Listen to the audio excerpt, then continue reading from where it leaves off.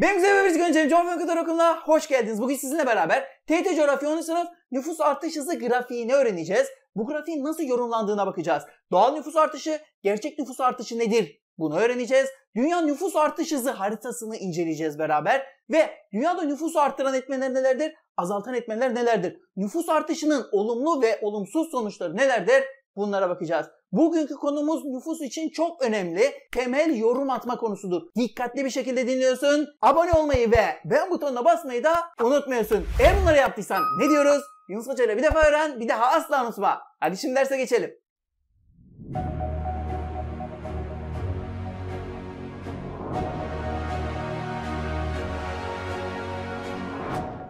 Evet gençler bugün konumuz TYT Coğrafya 10. sınıf nüfus artış hızı. A'dan Z'ye her şeyini yorumlayacağız. Dikkatli bir şekilde dinliyorsun. Şimdi nüfus artış hızı nedir? Ya da nüfus nasıl artabilir? Bunu mantıken bir düşünelim. X bir ülkemiz olsun tamam mı? Nüfusu burada arttırmaya çalışalım. Ne olması lazım nüfusun bir artması için? İlk önce hocam doğumların olması lazım. Tamam o zaman burada 10 tane çocuk doğduğunu varsayalım. 10 tane çocuk doğdu mu? Tamam. Ülkemiz ne olacak şimdi? 10 kişi artmış oldu ama bir şey daha var. Ölenler var, eksilenler var. Tamam hocam. 5 kişinin de öldüğünü varsayalım. 10 kişi doğdu, 5 kişi öldü. Ondan 5 kişi çıkınca 5 kişi kalmış oldu bu ülkede. Yani bu ülke 5 kişi artmış oldu. İşte nüfus artışı bu şekilde gerçekleşiyor. Biz buna doğumlar ve ölümler arasındaki fark sonucunda oluşan nüfus artışına doğal nüfus artışı diyoruz. Şimdi düşün, bak kelimeye bak. Doğal nüfus artışı. Bak adı üstünde doğal olarak artmış diyor. Yani doğumlar ve ölümler. Yani birisi sana sorularda doğal nüfus artışını sorduğu zaman Ha doğal nüfus artışı. Ha hocam bu doğumlar bak orada var doğal nüfus artışı doğumlar ve ölümler arasındaki fark sonucunda ortaya çıkıyormuş diyorsun. Tamam kenara koyduk. Şimdi ben bu X ülkesine bakıyorum. Normalde kaç kişi artması gerekiyordu? 5 kişi artması gerekiyordu değil mi? Ama alıyorum bu X ülkesinin nüfus grafiğini karşıma. Bir bakıyorum bu ülke 5 kişi artması gerekirken öyle gösteriyor doğum ve ölümler. Ama bir bakıyorum ülkeye nüfus 7 kişi artmış.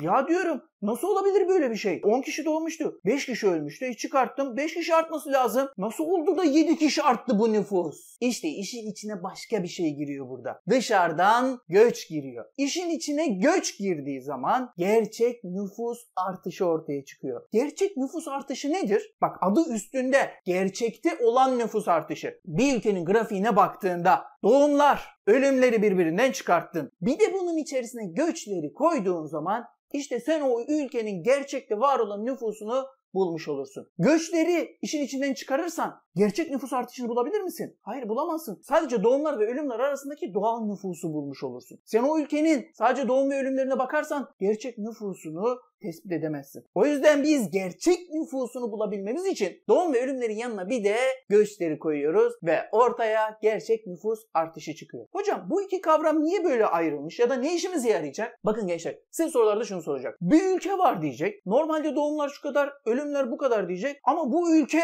artması gerekirken azalmış diyecek. Normalde 5 kişi olması gerekirken bu ülke 3 kişi olmuştur diyecek. Ne oldu da bu ülke 5 kişi olması gerekirken 3 kişiye düştü diye sorduğunda sen hemen düşüneceksin. Ha Demek ki 5 kişi olması gerekirken 3'e düşmüş. O aradaki 2 kişi ne olmuş? Göç etmiş. İşte gerçek nüfus artışı giriyor burada devreye. Yani sorularda sana gerçek nüfus artışıyla doğal nüfus artışıyla alakalı bu şekilde mantık soruları sorabilir. O yüzden ikisinin ayrımını bileceksin. Gerçek nüfus artışında göç varmış. Doğal nüfus artışında göç yokmuş. Sadece doğumlar ve ölümler varmış. Çok önemli bir noktaydı.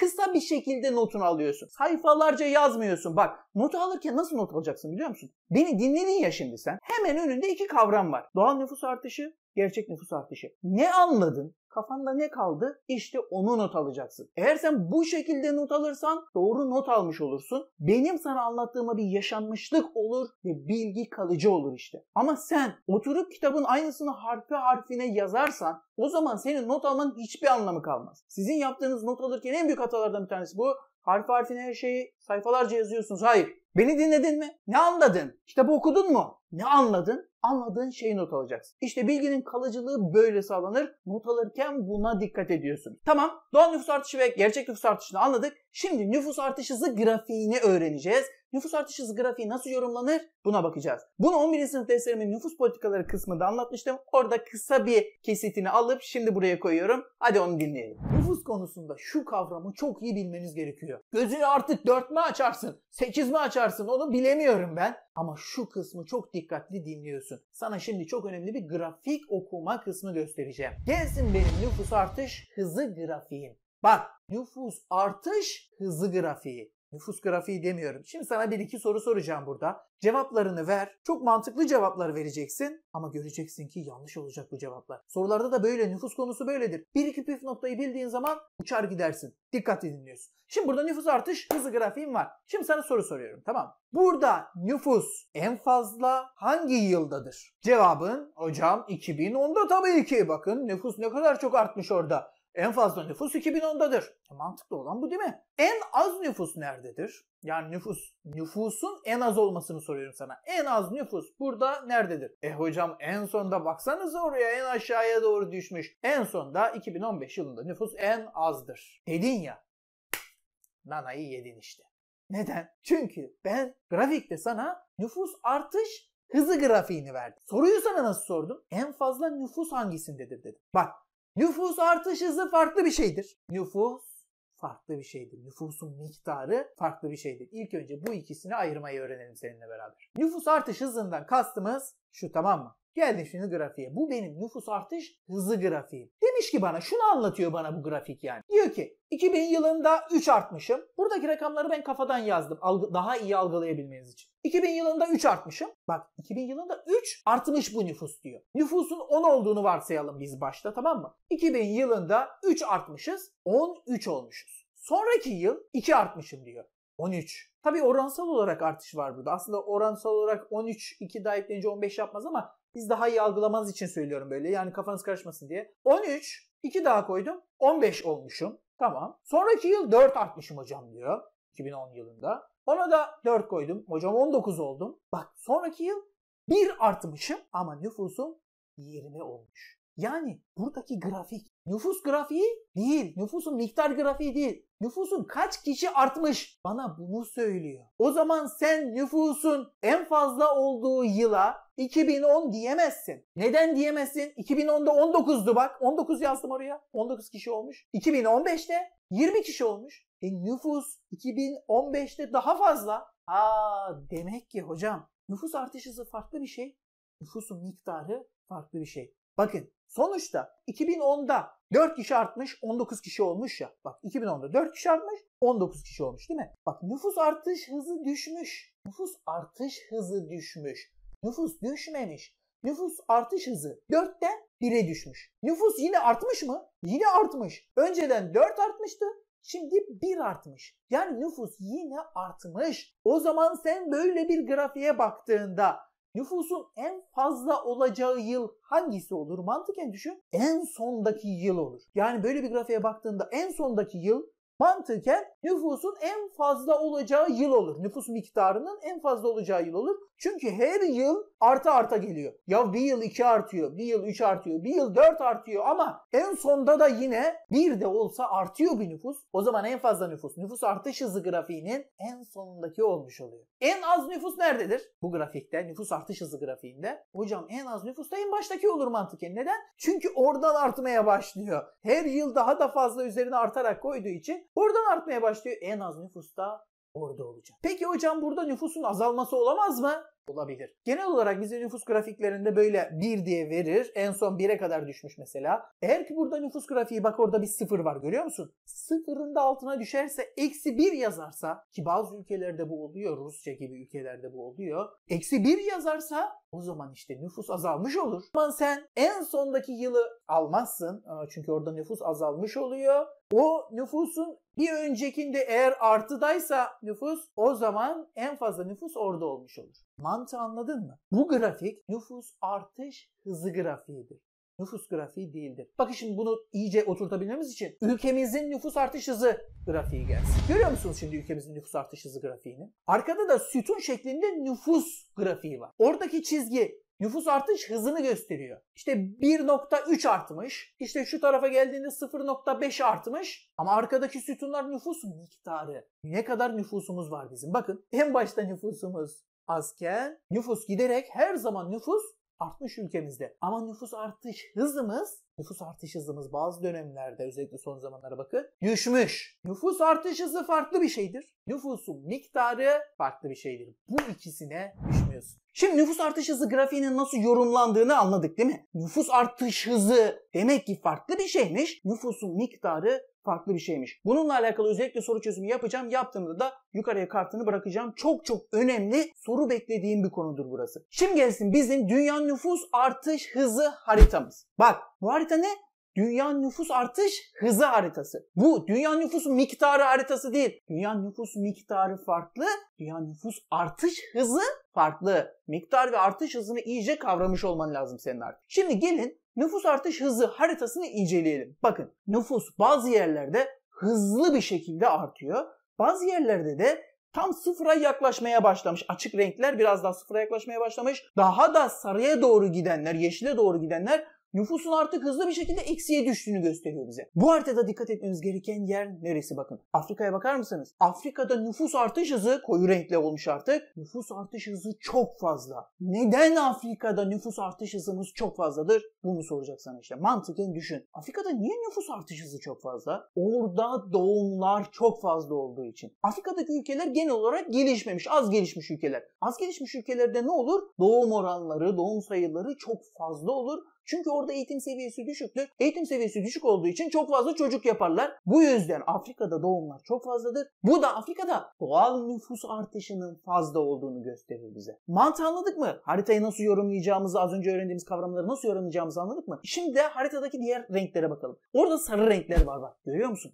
Sarı renkler nüfus artış hızının eksiye düşmeye başladığı anlamına geliyor az önceki videoda gördüğümüz gibi sıfırın altına düşmeye başlamış artık. Yani nüfus artışı artık eksiye düşmüş. Nüfus bile azalmaya başlamış anlamına geliyor. Dikkat edin burada nerede eksiyle sarı renkle gösterilmişler var. Bakın Avrupa'nın doğusundaki bunlar artık eksiye düşmeye başlamışlar. Doğu Avrupa'daki ülkeler Rusya ve şurada dikkat edin oraya bak Japonya. Japonya'nın eksiye düşmesinin nedeni geçmişte nüfus politikası olarak nüfusunu azaltmaya çalışmış. Bu da insanların kültürüne yansımış. Artık arttırmaya çalışıyor Japonya ama arttırmaya çalışsa da nüfus artık çocuk yapmak istemiyor. Japonya'da nüfusun eksiye düşmesinin nedeni bu. Rusya ve Avrupa'nın doğu ülkelerinde ise eksiye düşmesinin nedeni kadın iş hayatına atılması, eğitim seviyesinin yükselmesi ve çok ciddi alkol kullanımı. Bunlar buradaki nüfusu eksiye çekiyor işte. Bunun dışında bakın biraz daha açık renkli olanlar Avrupa ülkeleri de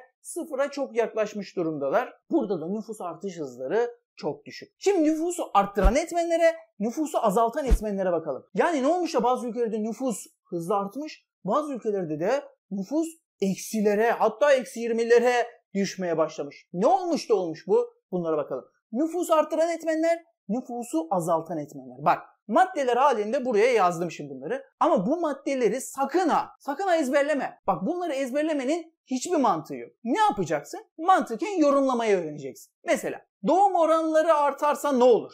Düşüneceğim şimdi. Doğum oranları artarsa e, çok çocuk olur.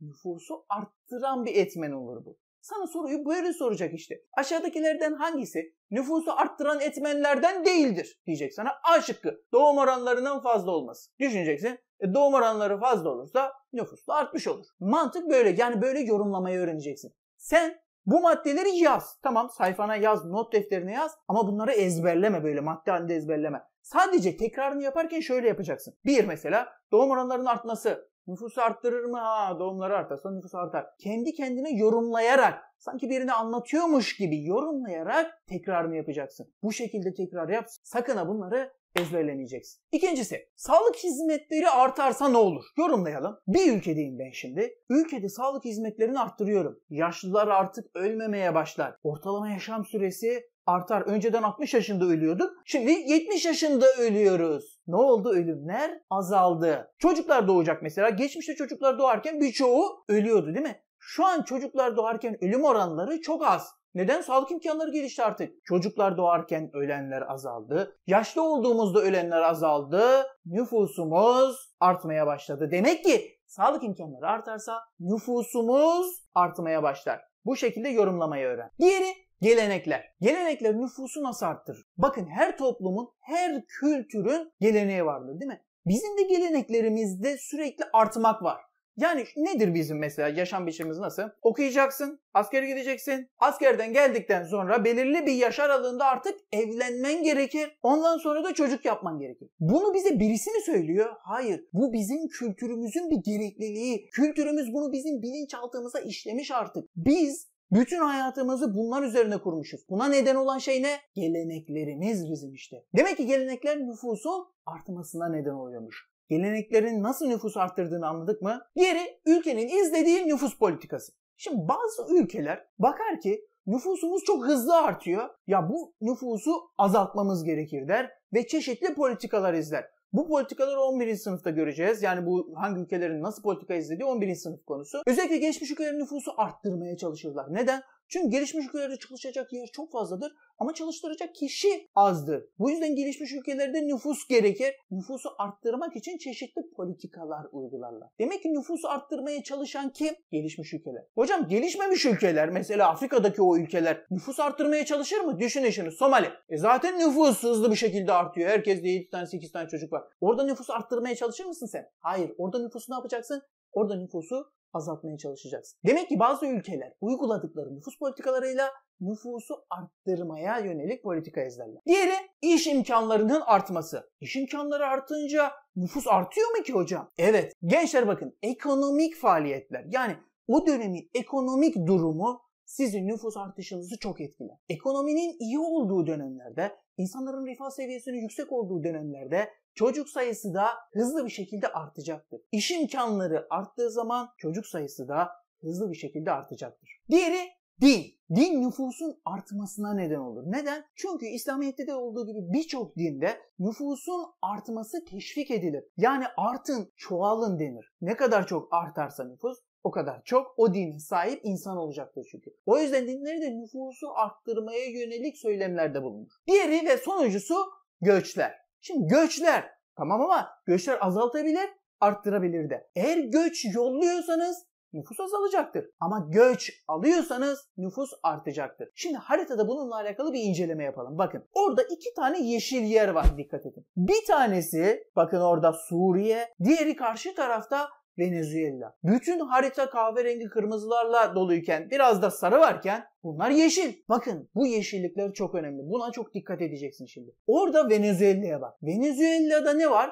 Amerika'nın uyguladığı bir ambargo var. Tamamen enflasyon tavan seviyelerde. Ülkede işsizlik, açlık, besleme koşullarının kötülüğü vesaire ülke tamamen bitik vaziyette. Bu yüzden Venezuela'dan çok ciddi anlamda dışarıya göç oluyor. Milyonu buluyor bu dışarıya göçler. Düşünün milyonu buluyor. Bu yüzden Venezuela dışarıya göç veriyor ve nüfusu azalmış oluyor. Gelişmemiş, az gelişmiş ülkeler dışarıya göç verir. Gelişmiş ülkelerse, çok gelişmiş ülkeler iş imkanlarının çok yoğun olduğu ülkeler özellikle Avrupa ülkeleri, Amerika dışarıdan göç alır ve bu da orada nüfusun artmasına neden olur. Demek ki biri bize göçleri sorduğu zaman göç alarak nüfus arttırabiliriz. Ve bu nerede olur? Gelişmiş ülkelerde iş imkanlarının yüksek olduğu yerlerde. Avrupa gibi, Amerika gibi ülkelerde gerçekleşir. Tamam. Burada nüfusu arttıran etmenleri yorumladık. Sen de tekrarını yaparken bu şekilde ha göçleri böyle arttırır, şöyle azaltır gibi yorum yapacaksın. Gelelim şimdi nüfusu azaltan etmenlere. Birincisi savaşlar. Savaşlar nüfusu ciddi anlamda azaltırlar. Bakın şimdi orada iki tane yeşil vardı değil mi? Bir tanesi Venezuela'ydı. İş imkanlarının kötü olması, ülkenin tamamen ekonomisinin kötü olmasından dolayı dışarıya göç veriyor ve nüfusu azaltıyordu. İkincisi yeşil olan kısma bakın Suriye. Savaş ortamı var milyonlarca insan bizim ülkemize geldi. Suriye'ye bakın eksi 20'lere eksi 40'lara düştü nüfus artış hızı. Yani nüfus tamamıyla dışarıya kaçtı. Bu da bize neyi gösteriyor? Savaşların ciddi anlamda nüfus artış hızını düşürdüğünü gösteriyor. Bakın bu haritadaki Venezuela ve Suriye örneklerini kesinlikle unutmuyorsunuz. Bu ülkeler eksi 20'lere, eksi 40'lara düşmüş çok istisnai ülkeler. Demek ki savaşlar nüfusu azaltıyormuş. Diğeri Doğal afetler. Doğal afetlerde bulunduğu bölgede nüfusu azaltır. Çok ciddi doğal afetler yaşanıyor. On binlerce insan hayatını kaybedebiliyor. E bu da nüfusun azalmasına neden olacak. Diğeri ve en önemlisi kadının iş hayatına girmesi. Eğer kadın iş hayatına girerse nüfus azalmaya başlar. Bunu yorumlayabilmen lazım. Nasıl? E düşünün şimdi. Kadının çalışmadığını düşünün, evde oturduğunu, ev hanımı olduğunu düşünün. Çocuklara çok rahatlıkla bakabilecek mi? Bakabilecek. O zaman iki tane, üç tane, dört tane çocuk yapmak problem olacak mı? Hayır. Ama bu kadının iş hayatına atıldığını düşünün, kariyer yapacağını düşünün. E ne olacak? Hem iş hem çocuk çok zorluyor. Bir tane yapıyorsunuz, aşırı derecede zorlanıyorsunuz, kreştir odur budur derken çocuğun ihtiyaçlarını gideremiyorsunuz, çocuğa ciddi anlamda bakamıyorsunuz, işi de bırakmak istemiyorsunuz. E ne olacak? Bir tane çocuktan sonra ikinciyi çok fazla düşünüyorsunuz yapsak mı yapmasak mı? İkinci de oluyor ama üçü artık kadın iş hayatına atılmışsa kimse düşünmemeye başlıyor. Bakın ne oldu? Kadın iş hayatına atıldığında çocuk sayısı çok hızlı bir şekilde düşmüş oldu. Demek ki kadının iş hayatına atılması nüfusu azaltan etmenlerden bir tanesi. Diğeri dışarıya giden göçler. Az önce söylediğimiz şey bu. Eğer ki bir ülke gelişmemiş, az gelişmiş bir ülke ise o ülkeden herkes gitmeye başlar ve bu da dışarıya göç verir ve o ülkede nüfusun azalmasına neden olur. Diğer ülkenin izlediği nüfus politikası. Az önce gördük ya bazı ülkelerin nüfusu arttırmaya çalışıyordu. Gelişmiş ülkeler arttırmaya çalışıyordu. Bazı ülkelerde gelişmemiş, az gelişmiş ülkeler, Afrika ülkeleri mesela nüfusu ne yapacaklar? Azaltmaya çalışacaklar. E çok fazla nüfus var. Besleyemiyoruz. Ne yapacağız bunları? Azaltmaya çalışacağız. Demek ki gelişmiş ülkeler arttırmaya çalışır. Az gelişmiş ülkeler azaltmaya çalışır nüfus. Şimdi geldik sonuncuya ve bana göre en önemlisine. Eğitim seviyesinin artması. Bakın bir yerde eğitim seviyesi artarsa nüfus artış hızı azalacaktır. Nasıl yani hocam? Şöyle bir düşünelim. Şimdi sen önceden köyde yaşıyordun tamam mı? Tarımla uğraşıyordun. Eğitim seviyen de çok düşük. Eğitim seviyen düşük olduğu zaman şunu düşünmüyorsun. Ya ben işte 5 tane 6 tane çocuk yaptım ama bunlara bakabilir miyim? Bunların ihtiyaçlarını gidebilir miyim? Böyle bir düşünce içerisinde hiçbir zaman olmuyorsun. Çünkü senin eğitim anlayışın bununla alakalı bir düşünmeye seni sevk etmiyor. Ama eğitim seviyen arttığı zaman sen ciddi anlamda eğitimli biri olduğun zaman ya 7 tane 8 tane çocuk yapar mısın? Ne diyeceksin? Ya ben bunlara bakamam. Ben bunların ihtiyaçlarını gideremem. Ekonomik olarak hem de sevgi olarak gideremem diyorsun. Ve mantıklı bir şekilde düşünüp en fazla 2 tane 3 tane çocuk yapıyorsun. Daha da üstüne çıkmıyorsun. İşte eğitim seviyesi arttığı zaman direkt olarak nüfus artış hızı da azalmaya başlıyor. Demek ki nüfusu azaltan en önemli etmenlerden bir tanesi eğitim seviyesinin artması. Dikkat edin bu nüfus artış hızı haritamıza. Eğitim seviyesinin çok düşük olduğu ülkelerde nüfus hızlı bir şekilde artmış, nüfus patlamaya gitti. Demek ki eğitim seviyesi nüfus artışında çok önemli bir etken. Tamam nüfus arttıran etmenleri öğrendik. Nüfusu azaltan etmenleri öğrendik. Bunları yorumlamayı öğrendik bak. Biraz daha eski derslerimize göre biraz farklı bir formatta gidiyoruz. Neden? Çünkü artık beşeri derslere geçtik biz. Bu saatten sonra sadece böyle yorum yapacağız. Çok basittir. Senden istediğim tek şey yorum yapma yeteneğini arttırman. Şimdi geldik. Bir ülkede nüfus artış hızı düşerse bunun olumlu ve olumsuz sonuçları nelerdir? Bir ülkede nüfus artış hızı artarsa bunun olumlu ve olumsuz sonuçları nelerdir? Bunlara bakacağız. Burada biraz daha somutlayarak gidelim. Mesela Türkiye'yi düşünelim tamam mı? Türkiye'de nüfus artış hızının azaldığını düşünelim. Bak nüfusun azaldığını demiyoruz. Nüfus artış hızının azaldığını diyoruz. Az önce öğrendik bunu. Yani nüfus önceden hızlı artıyormuş. Şimdi yavaş artacak. Türkiye'yi düşünelim şimdi, somutlayalım kafamızda. Nüfus artış hızı azalırsa bunun olumlu sonuçları neler olabilir? Yani nüfusumuz daha az artarsa bu güzel bir şey midir? Kişi başına düşen milli gelirimiz artar. Kişi başına düşen milli gelir yani ülkenin parasını düşünün. Bunu kişilere bölüyorsunuz. İşte yıllık bir kişiye ne kadar para düşüyor. Böyle daha basit bir şekilde düşünün bunu. Nüfus artış hızı azalırsa e, ülke daha az artacağı için, yavaş artacağı için kişilere düşen paralar da artmış olur. Diğeri eğer Türkiye yavaş artarsa Türkiye'de eğitimle sağlık kalitesi artar. Neden? Şöyle düşünelim şimdi. Eğitim kalitesini düşünelim. E nüfusumuz hızla artıyor. E sınıflarımız 30 kişilik. E daha da hızlı artarsak 40 kişilik. Daha da hızlı arttığımızı düşünelim. Yetmiyor artık. 50 kişilik. Ne oldu? Eğitim kalitesi düştü. Demek ki nüfus artış hızı düşerse bizim eğitim kalitemiz artacak. Nüfus artış hızımız düştü. Yeni gelen çocuklar yok. 30 kişiydik. 20 kişiye düşecek sınıflar artık. Bak kalitemiz artıyor. Sağlık imkanları daha da kaliteli hale gelir. Hastanelerimiz var bizim. E nüfus artış hızı azalmaya başlayınca hastaneye gidecek insan sayısı da azalacak ve sağlığın kalitesi de artmaya başlayacak. Diğeri yatırımlar daha da fazla artar. Nasıl yani hocam? Şimdi nüfusun hızlı bir şekilde arttığını düşünelim Türkiye'de. Ben paramı nereye harcamak zorundayım? Bu nüfusun ihtiyaçlarını gidermeye harcamak zorundayım. Nüfus hızlı artıyor. Ne yapacağım? Hastane yapacağım. Ne yapacağım? Okul yapacağım. Ne yapacağım? Ne gerekiyor? Yol yapacağım, köprü yapacağım, onu yapacağım, bunu yapacağım. Bu sefer ne olacak bu nüfusun ihtiyacını gidereyim derken bütün parayı yola, köprüye, hastaneye, okula yatıracağım. Bu da benim için kötü bir şey olacak. Ama nüfus artış hızım azalırsa ne olur? E çok fazla nüfus gelmiyor yeni nüfus. Yaptığım köprüler yeterli. Yaptığım yollar, yaptığım okullar yeterli. Yenisini yapmaya gerek var mı? Yok. İşte nüfus artış hızı azalırsa senin bu yatırımları yapmana gerek kalmaz ve devletin gerçekten kalkınmasını sağlayacak yatırımlar yapmaya başlarsın. Demek ki nüfus artış hızının azalmasının olumlu sonuçları varmış. Bir de olumsuz sonuçları da var. Bir de nüfus artış hızımız azalırsa olumsuz bazı şeyler ortaya çıkıyor. Bunları yorumlayalım. Mesela yaşlı nüfus artar. Düşünün yeni çocuklar gelmiyor artık. E ülke ne olacak nüfusu? Yaşlanmaya başlayacak. Yaşlı nüfus artacak. Yani piramidin üst tarafı artacak. Ülke yaşlanmaya başlayacak. Ülke dinamizmini kaybedecek. Ülkede devlet vergi alacak kişi bulamamaya başlayacak. Çünkü ülke ciddi anlamda artmıyor. Vergi gelirleri azalmaya başlayacak. Aynı zamanda ülke yaşlandı ya bu insanlar emekli olacaklar. E bu insanlara bakılması lazım. E çocuklar az. Kim bakacak bu emeklilere? Emekliler devletin üzerinde yük olmaya başlayacak. Bakın nüfus artış hızı düşerse olumsuz sonuçlar ortaya çıkıyor demek. Ve ülke tüm bunlar sonucunda bir bakacak ki ya benim ülkemde nüfus artmıyor.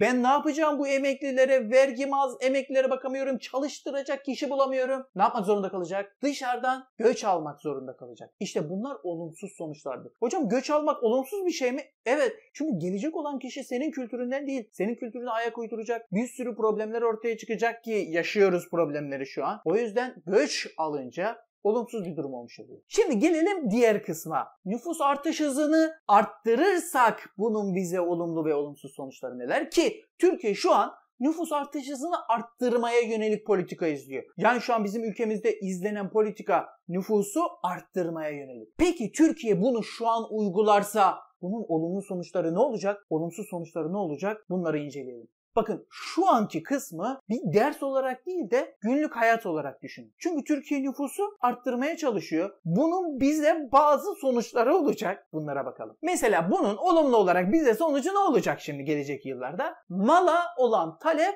artacak. Bu sefer ne olacak? Mala talep artınca sürekli bir üretim olmuş olacak. Ülkede üretim fazla olmuş oluyor. Bu olumlu bir şey mi ülke için? Evet. Talep ediyorum ben çünkü talep eden insan sayısı arttı. Talep eden insan sayısı artınca da üretim artmaya başladı. E, üretim arttı. Talep arttı. Sürekli al ver ticaret olmaya başladı. Devlet vergileri fazla almaya başladı. Devlet için çok güzel bir şey bu değil mi? Vergilerimi fazla almaya başladım. Üretim fazla oldu. Talep çok fazla arttı ve en önemlisi devlet için iş gücü maliyeti azaldı. Yani daha ucuza işçi çalıştırma imkanı bulurum ben. Eğer nüfusu hızlı arttırırsam daha ucuza işçi çalıştırabilirim. Neden? Çünkü çok fazla kişi var. Sen çalışmazsan bu fiyata diğeri çalışacak. Sen çalışmadın beğenmedin mi? Çalışacak çok kişi var. İşte bu nüfus artışının hızlı olması bizim ücretlerimizi ne yapıyor?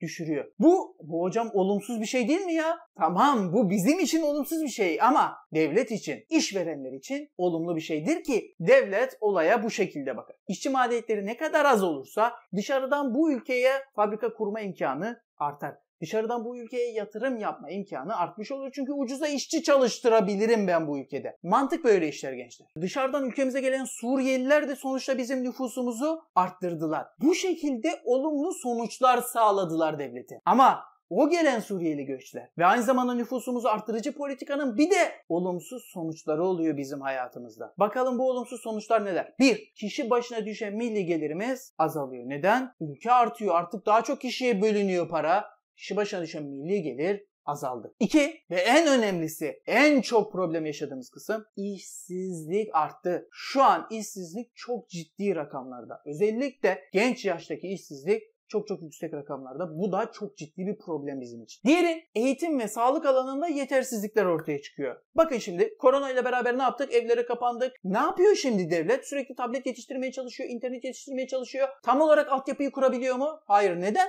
Çünkü nüfus çok fazla. Nüfus artış hızı çok fazla. Sürekli olarak onlara yetişemiyorsunuz. Ama nüfus artış hızı düşük olsaydı, sabit bir ülke olsaydı, çok fazla artmayan bir ülke olsaydı zaten sisteminiz kurulu olacaktı sizin. Diğeri tasarruflar azalır. Neden? Çünkü nüfus artış hızı çok hızlı bir şekilde artıyor. Çok fazla nüfusumuz var. Tasarruf yapamayacaksın. Sürekli artan bir ülkesin. Sürekli yatırım yapmak zorunda kalıyorsun. Sürekli bir şeyler almak zorunda kalıyorsun. Sürekli tüketiyorsun ve tasarruf yapamıyorsun bu yüzden. Ve en önemlilerinden bir tanesi bir yerde nüfus hızlı bir şekilde artmaya başlarsa suç oranları da artar. Neden? Çünkü sen bu nüfusu az önce gördüğümüz gibi iş sağlayamıyorsun. Sağlık imkanları aksamaya başlıyor. Eğitim imkanları aksamaya başlıyor. Bütün hepsi toplanıyor ve artık ve dışarıdan gelen göçlerle beraber tamamen sistem bozulmaya başlıyor ve suç oranları da artmaya başlıyor. Diğer yorum ve bana göre bu yorumlar arasında en önemlisi bu. Çünkü diğerlerini yorumlarsın sen. Mantıken düşünde yorumlayabilirsin ama sıkıntı burada. Demografik yatırımlar artar diyor bak. Demografik yatırım demek ne demek? Nüfusa yapılan yatırım demek istiyor bize. Yani okul yapmak, hastane yapmak bunlar demografik yatırımlar. Bir ülkede nüfus hızlı bir şekilde artarsa senin demografik yatırımların da artar. Bu olumsuz bir şeydir. Neden hocam olumsuz? Ne güzel ev yapıyoruz, okul yapıyoruz, hastane yapıyoruz, köprü yapıyoruz. Bu çok güzel bir şey değil mi? Evet çok güzel bir şey gibi görünüyor ama devletin asıl yapması gereken sanayi yatırımları, üretim yatırımları vesaire bunlara yatırım yapamıyor devlet. Gelişime yatırım yapamıyor. Okul, hastane yapmak zorunda kalıyor. Parasını bunlara veriyor. E böyle olunca da bu olumsuz bir şey oluyor işte. Ülke ekonomisi yollara, ülke ekonomisi hastanelere, ülke ekonomisi okullara gidiyor ve ülke daha da hızlı kalkınamıyor. Gelişmiş ülkeleri düşünün. Nüfus hızlı bir şekilde artmıyor tamam mı? Şimdi benim 10 tane okulum var. E nüfus hızlı bir şekilde artmayınca ne olacak Almanya mesela? Yeni okul yapmama gerek var mı?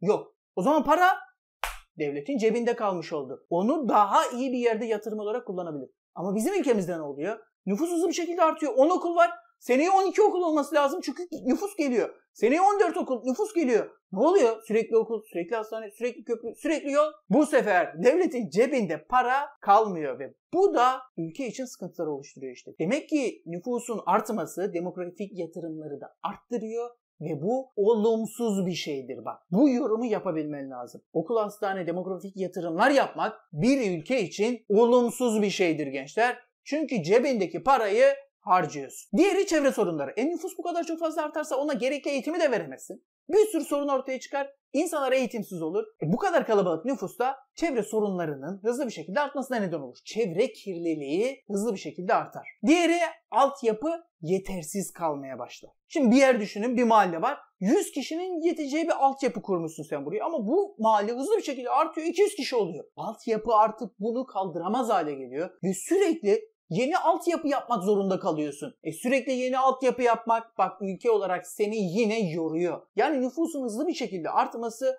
aslında peşinde ciddi sorunlar. Doğal kaynaklar bir ülkede hızlı bir şekilde tükenir. Bakın nüfus hızlı bir şekilde arttığı zaman e ne olacak? Senin bu nüfusu hızlı bir şekilde besleyebilmen gerekiyor. Bütün doğal kaynaklarını çıkartıyorsun. Hepsini kullanıyorsun sınırsızca nüfus için. Nüfus arttığında doğal kaynak kullanımı da artıyor. Evet bugün çok değerli bir ders öğrendik. Nüfus artış hızı nedir? Nüfus artış hızını arttıran etmenler, azaltan etmenler nelerdir? Dünyada nüfus artış hızı nasıldır? Bunlara baktık. Çok önemli bir konuydu. Bu sene soru beklediğim kısım nüfusta burasıdır. Dikkatli bir şekilde notunu alıyorsun. Testlerini çözerken ezberden değil yorumlamaya çalışarak çözüyorsun. O zaman ne diyoruz? Yunus Hoca ile bir defa öğren, bir daha asla unutma. Bir sonraki derste görüşmek üzere.